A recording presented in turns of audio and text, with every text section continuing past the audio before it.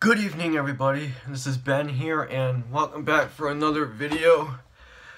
Oh for today. And of course I'm showing myself on camera again and the reason why is because tonight um, since it's 5:43 p.m. right now I'm I'm gonna do it I'm gonna do a video of explaining to you my top five favorite movies. Now before I get started just so I want you to know know that I had tried to record previously a, like a top 10 favorite movies list updated version.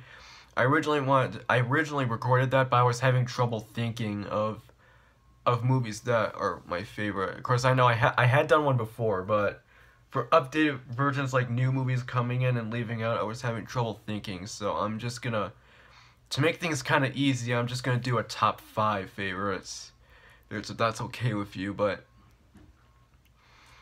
but regardless of that, let's just get started. So pretty much, so yeah, it's pretty much now my number five favorite film.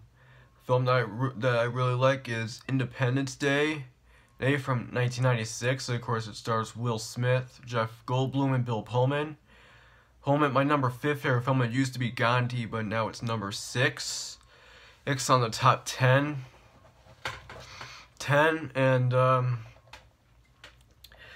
so um, it's a great movie. I remember I remember renting that a lot from Family Video back in the day because me and my brother used we were really into aliens back back back then. Excuse me, I'm kind of gassed up from eating dinner, but anyways, we were really into aliens, those kinds of sci-fi aliens back then, and so we used to rent that rent that a lot a lot, and and I and I and, and I really enjoyed it. I thought it was pretty cool. All the explosion scenes and alien invasion scenes. I thought they were just fantastic. I'm I'm pretty sure it's everybody's favorite film film out there. But of course I know. So yeah, and the the great. It's got so yeah, like I said, it's got great casting too. Like I said, with Will Smith and Jeff Goldblum. Uh, although Will Smith, in my opinion, kind of doesn't really appear too much in this film. In my opinion, I kind of consider Jeff Goldblum to be to be more the main character because he appears more often, in my opinion. But that's that's from what I can tell. L, but it's it's all right. But well, they are both the main characters, but I just consider Jeff Goldblum to be more the main character because he appears more often than Will Smith. But that's just me, though. But it still is good. Good and all this and and, and now and so yeah, great stuff. Just so you know. Oh, and so that's all I need to it is an awesome movie, Independence Day, and then of course for number four number four on my favorites list, this just came into on the list listen much. This is one that I saw in school in my English class, and I really liked it. And I and I really liked it. Of course, I have the film on Blu-ray, and of course, that movie, as you know, is Fences. Is of course that film stars Denzel Washington and Viola Davis. As I also know, Denzel also directed the film, which is pretty good, cool. And he also produced it as well, and he also did get a nomination for the Academy Award for Best Picture back in 2016, it was also nominated for Best Actor, but it didn't win because it went to Casey Affleck for Manchester by the Sea. But, but regardless of that, it's still Fences is a great film based off August Wilson's 1950s. No, not 1950s, but yeah, yeah, I think it is a 1950s play. I don't know what what, what year it was, but but it was somewhere around there. It was set in 1950s Pittsburgh. Berg and you know about Troy Maxon and and his family and all this, but a lot of us seem to know about Fences, so I don't really need to explain it. But it is a great film. Film. Of course, yep, like I said, we watched it in English class when we were comparing this and Neil Simon's Brighton Brighton Beach Memoirs. Mars, which they also made that into a movie as well back in the 80s, which that's also good too, but it's not as popular though. But anyways, it for fences, it's still great and all this. This, this, and I think it's one of Denzel Washington's best movies he's done. Done so far. so far, and I also know Viola Davis also won Best Supporting Actress for this film, but which is great. It and sorry if I'm getting adjust, self-adjusted to this chair, but anyways, Fences is a great film, and then of course for number third favorite film would be Castaway. Way, of course, starring Tom Hanks. Of course, I also do have some Tom Hanks movies, movies in the top ten. Those films are Toy Story and Apollo 13, but for Castaway, way of course, it's a great film. It's directed by Robert Zemeckis, which they, they of course he, Tom Hanks and Rob, Bob Zemeckis also did Forrest Gump together. That it came out back in 2000. Castaway did. Did in which it was one of two Robert Zemeckis films that came out in 2000. The other one was What Lies Beneath.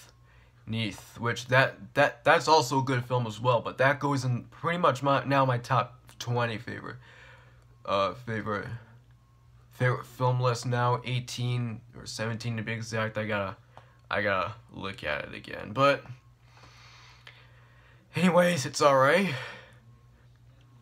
Right and but anyways, Castaway is a great film. You know, you know, he Chuck, you know, Tom Hanks plays as Chuck Nolan, who is a FedEx employee, and and then he he gets stranded on this island after a fatal plane crash in his cargo cargo FedEx cargo plane. Plane, and you also get you know Wilson the volleyball and other stuff. Yeah, Castaway is a great film, and also the success, the box office success of this film also inspired Wilson, the company, the company that the company that makes those sports balls, um, I'm going kind of quick here, but they also inspired them to make a Wilson uh, volleyball based on the movie with the face and all this, which is pretty good and unique as well. Well, and nice and all this, but anyways, Castaway is great. And then for number two favorite film, film of course is Shrek. Shrek, the first one from from from 2001, made by DreamWorks. Of course, DreamWorks DreamWorks also made Castaway as well, but internationally, nationally, because you know, because you know, Fox, 20th Century Fox has the rights here in America, and like I said, the Fox only the Fox and Image Movers logos appear here in the United States and DreamWorks internationally, but but as I keep saying, of course, they also help together in What Lies Beneath as well, but except DreamWorks Unite and DreamWorks and Image Movers logo is in the United States and 20th Century Fox internationally, but Either way, let's talk about Shrek. Of course, it's another, it's a favorite, it's a favorite film that I enjoyed watching a lot as a kid, along with Shrek 2, and, you know, I always, I always loved it ever since. Since around that time, time I always loved Shrek, Donkey, Princess Fiona, no, and John, Lord Farquaad. Quad, I think he's probably one of my favorite DreamWorks villains of all time. Well, animated villains of all time, but great stuff. And, uh, so it's great and all this. I know everybody loves Shrek even nowadays, and, and so yeah, that's great stuff. Stuff, so yep.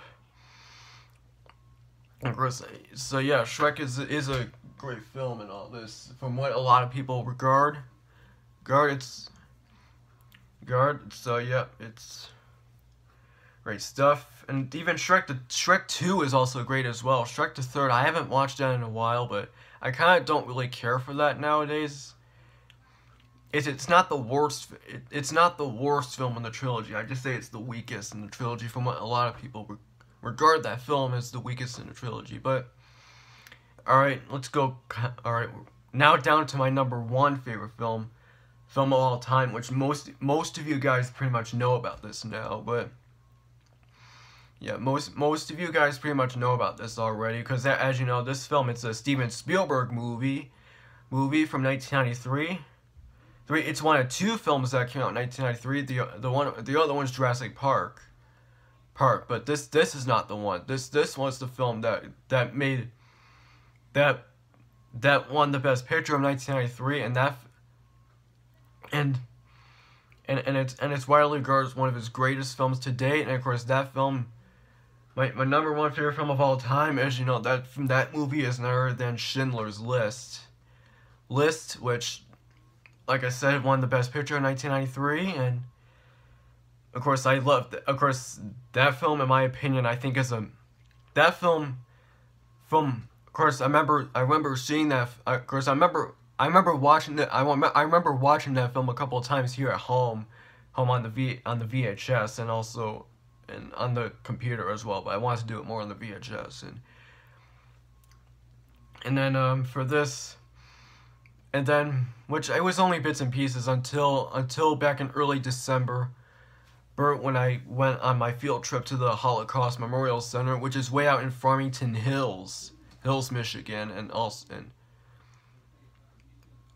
we didn't see the movie on the field trip, but we saw it at the auditorium at my school, school, and and I thought it was and the the, the, the Holocaust trip was an experience, what was was really great, but the in the movie I thought the movie I thought uh, and, and when I saw the movie I thought especially when seeing it with my friends and also any and also anything else I thought it was just a masterful masterful piece of work film and eh, work and I definitely agree what everybody says about the film and definitely one of Steven Spielberg's best and probably one of Liam Neeson since best movies he's ever done as well as Ray Fiennes Fiennes as and all that stuff of course, of course, Liam Neeson's performance as, as Oskar Schindler is probably one of the best, if not the best, historical figures portrayed by an actor in history, in my opinion. And, and, and also Ray Fiennes as the devastating command SS Schutzstaffel, I think that's how you pronounce it, Commandant Amon Goeth. I think he's one of the most devastating but awesome villains lens in screen history in my opinion, that's what I regard. But of course, that, and of course that, of course, and of course also Ben Kingsley, Ben Kingsley as Itzhak Stern. That's also really great as well.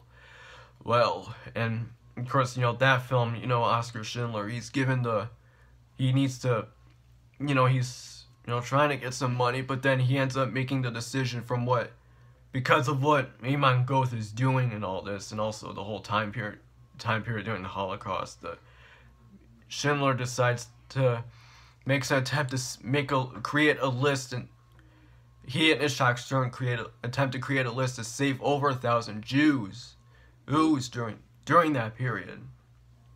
And then uh but like I said, that film, like I said, is a masterful piece of work and definitely one of Steven Spielberg's greatest films he's ever done. It's a really awesome movie. Uvia definitely deserves the win for Best Picture and definitely deserves being number one in my top 10 and top 5 and top 20. We and all that stuff. Alright, and anyways, Schindler's List is an awesome movie. It definitely, I mean, it's not, I know some people don't like it because the graphic content, but it's still, it's alright. Right, and all this. But anyways, Schindler's List is an awesome movie. And that of course, we're we're almost running out of time. We're pretty much running out of time now. So, this this is basically it for my top five favorite movies of all time, and I'll see you again probably later if I have if I have time or so.